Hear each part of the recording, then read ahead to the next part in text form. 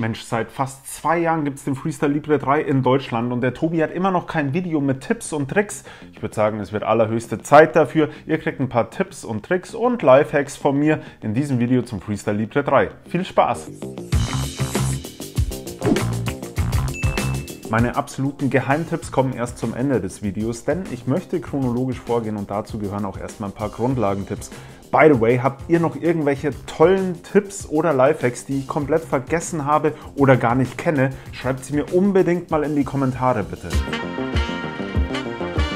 Mein Tipp Nummer 1 für euch ist die richtige Stelle finden. Offiziell dürft ihr den Freestyle Libre 3 nur an der Rückseite des Oberarms anbringen.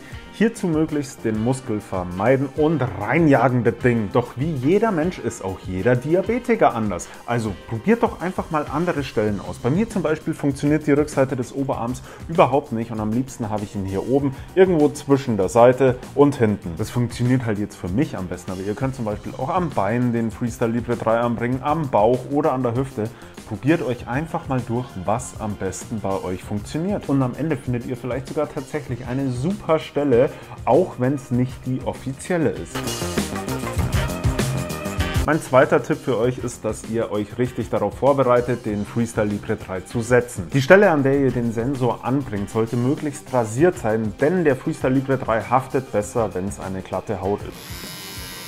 Ich nehme mich da mal raus. Ich bin vielleicht nicht immer rasiert, aber bei mir funktioniert es trotzdem. Zudem sollte die Stelle weder feucht oder nass sein, noch solltet ihr direkt nach dem Sport völlig verschwitzt den Freestyle Libre anbringen. aber die meisten von euch können sich das ja denken. Ansonsten fliegt der Sensor wahrscheinlich gleich nach ein paar Minuten wieder ab. Und benutzt unbedingt Alkoholtücher. Und jetzt kommt der wichtige Punkt dabei. Wartet auch nach der Nutzung des Alkoholtuchs circa 30-40 Sekunden ab, bis die Stelle trocken ist. Denn wie schon schon erwähnt, sie sollte weder feucht oder nass sein, damit der Freestyle Libre 3 so gut wie möglich haftet.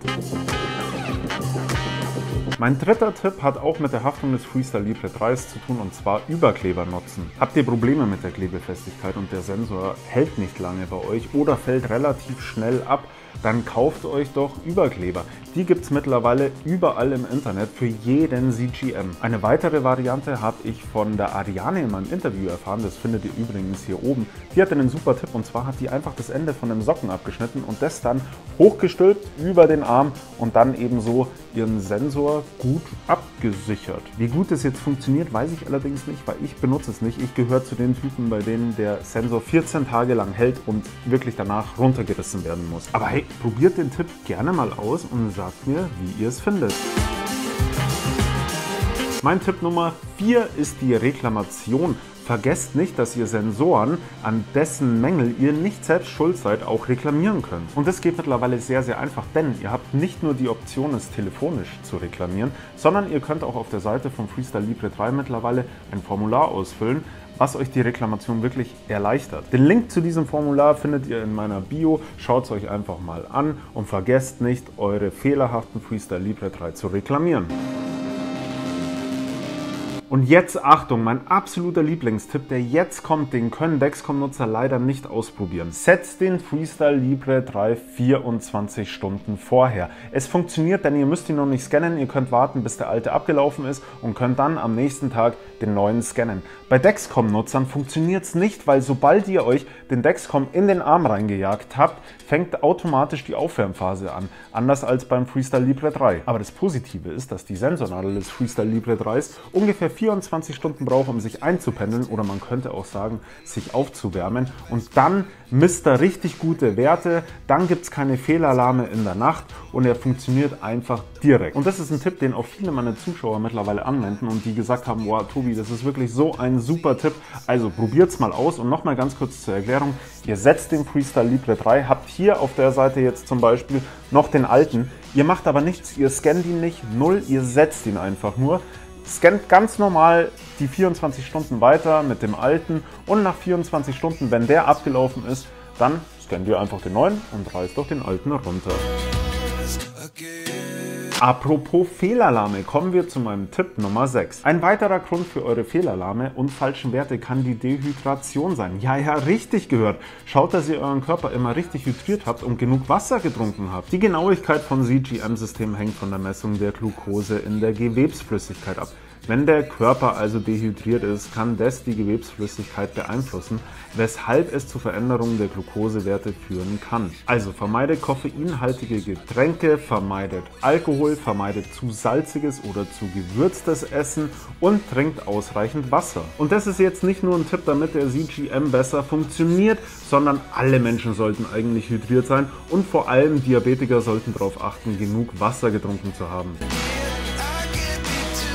Mein letzter Tipp, mein Tipp Nummer 7 ist, stellt eure Alarme richtig ein. Ich empfehle euch einen Unterzuckeralarm von 75. Und wieso? Denn seid ihr über dem 75, ist es meiner Meinung nach ein bisschen zu penibel. Fallt ihr in den Unterzucker bzw. der Alarm ertönt bei 75, habt ihr ausreichend Zeit, um Zucker zu euch zu nehmen. Für den Überzucker würde ich einen Alarm von 250 einstellen. Viele sagen jetzt, okay, der ist vielleicht zu hoch, aber ich sage euch zwei Gründe, wieso 250 genau richtig ist. Zum einen ist es nichts Ungewöhnliches, wenn ihr nach dem Essen mal eine kurze Spitze habt, die irgendwie bei 220, 230 ist. Stellt euch vor, da ertönt jetzt schon der Alarm und ihr korrigiert gleich, danach fallt ihr wahrscheinlich in den Unterzucker. Zum anderen solltet ihr nicht zu streng zu euch selber sein und euch von diesem Alarm beeinflussen lassen, wie ich es ja gerade eben auch schon so ein bisschen gesagt habe. Seid ein bisschen lockerer. Ihr habt euren Diabetes euer ganzes Leben lang. Schaut damit ihr damit ruhig und nicht allzu streng umgeht. Und das beeinflusst euch so weit, dass ihr ein besseres körperliches Gefühl habt und es geht auch nicht so krass auf die Psyche. Haben euch meine Tipps und Tricks und Lifehacks gefallen, dann lasst mir unbedingt ein Like da und abonniert mich auch gerne, dann verpasst ihr nämlich kein weiteres Video mehr von mir. Bis zum nächsten Mal. Tschüss.